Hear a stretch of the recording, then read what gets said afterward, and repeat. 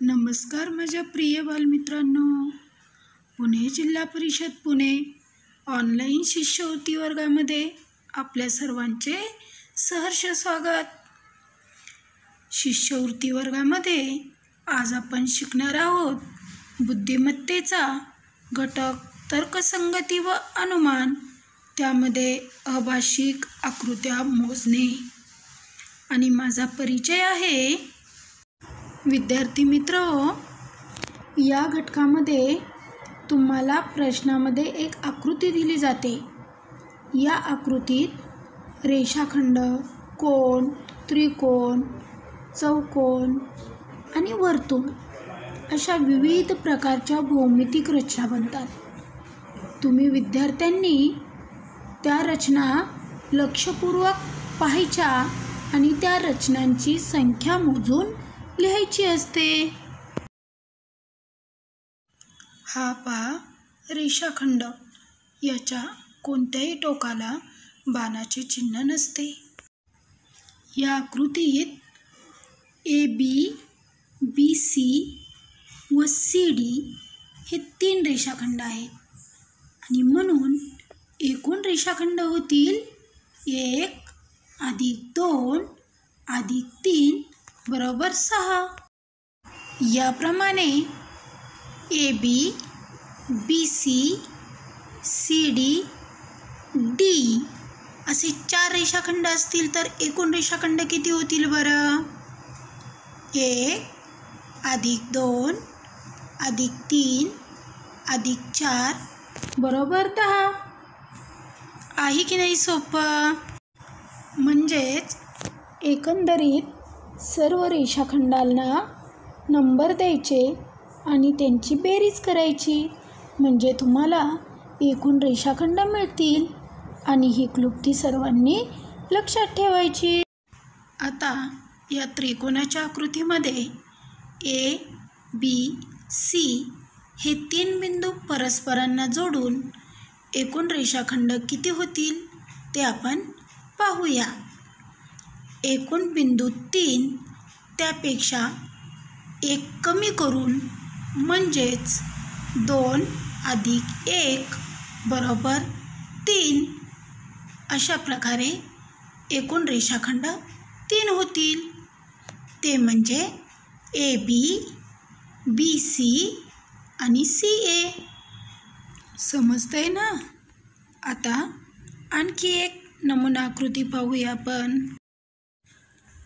या आकृतीत पाच बिंदू परस्परांना जोडलेले आहेत. मग बिंदू पाच त्यातील एक कमी करून एक कमी का करायचा? तर ही आपली क्लुप्ती. यावरून पाच बिंदूतला एक बिंदू कमी केला. म्हणजेच चार अधिक तीन अधिक दोन अधिक एक बरोबर दहा. म्हणजेच एकूण रेषाखंड तयार होतील दहा. ते कोणकोणते तर पहा. A B B C C D D E E A. यानंतर A C A D B D B E आणि सी हे दहा रेषाखंड तयार होतील. आता आपण किरण या आकृतीतील रेषाखंड मोजणार आहोत. याच्या एका टोकास बाणाचे चिन्ह असते. या आकृतीत यब ए या किरणावर रेषाखंड एक ए बी रेषाखंड दोन बी सी रेषाखंड तीन सी डी रेषाखंड चार डी ई आणि रेषाखंड ई एफ हे पाच वेगवेगळे रेषाखंड आहेत. तर आपल्याला या किरणातील एकूण रेषाखंड काढायचे आहेत. मग काय करायचं? तर आकृतीमध्ये आपण जे काही रेषाखंडाला नंबर दिलेले आहेत त्या सर्वांची बेरीज करायची. पहा तर मग. एक अधिक दोन अधिक तीन अधिक चार अधिक पाच बरोबर पंधरा. म्हणजेच एकूण रेषाखंड झाले पंधरा. यानंतर आपण पाहणार आहोत रेषा. रेषेच्या दोन्ही टोकांना बाणाचे चिन्ह असते. या आकृतीत ए ई रेषेवर रेषाखंड ए बी रेषाखंड बी सी रेषाखंड सी डी आणि रेषाखंड डी ई हे चार रेषाखंड आहेत. मग या आकृतीमध्ये एकूण रेषाखंड किती होतील? सांगा पाहू. तर आपल्या नेहमीच्या क्लुप्तीप्रमाणे या सर्व रेषाखंडाची आपण करूया बेरीज. म्हणजेच एक अधिक दोन अधिक तीन अधिक चार बरोबर दहा. यामध्ये एक लक्षात ठेवा ई यप हा रेषाखंड नाही. म्हणून आपण एक ते चार अंकाची बेरीज केली आणि आपल्या एकूण रेषाखंडाची संख्या आली दहा. यानंतर आपण आकृती पाहूया. कोण या आकृतीत कोण बी ए सी चे ए डी या किरणाने एक व दोन असे दोन भाग केलेले आहेत. आणि यामुळे कोण सी ए डी व कोण बी ए डी असे दोन नवीन कोण तयार झालेले आहेत.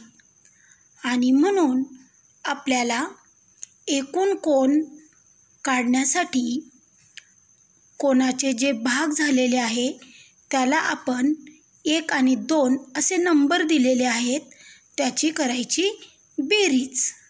म्हणून एकूण कोण बरोबर एक अधिक दोन बरोबर तीन? आता या ठिकाणी पहा कोणाचे दोन भाग केले म्हणून आपण एक आणि दोनची बेरीज केली. याचप्रमाणे जर कोणाचे एक दोन तीन असे तीन भाग पाडले असतील तर एकूण कोण येतील? एक अधिक दोन अधिक तीन बरोबर सहा. याप्रमाणेच कोणाचे जेवढे भाग असतील तेवढे नंबर देऊन त्यांची बेरीज क केली की आपल्याला एकूण कोण मिळतात? पुढील आपली आकृती आहे त्रिकोण. आता याही आकृतीत मागील आकृतीत मी शिकवल्याप्रमाणेच एकूण त्रिकोण काढण्यासाठी आपण जे कोण तयार झालेले आहेत त्याला नंबर देऊयात. एक दोन तीन चार. म्हणजेच एकूण त्रिकोण तयार होतील. एक ते चार अंकांची बेरीज म्हणजेच दहा. त्यानंतर पुढे पहा.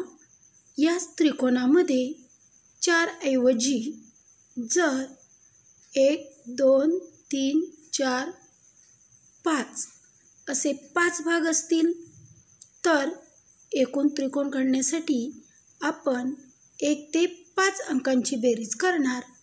म्हणजेच एकूण त्रिकोण येतील एक अधिक दोन अधिक तीन अधिक चार अधिक पाच बरोबर पंधरा. याप्रमाणे आपण सहज सोप्या पद्धतीने एकूण त्रिकोण काढू शकतो. आता तुम्ही स्वाध्यायातील काही आकृत्यांचा सराव करायचा. Thank you.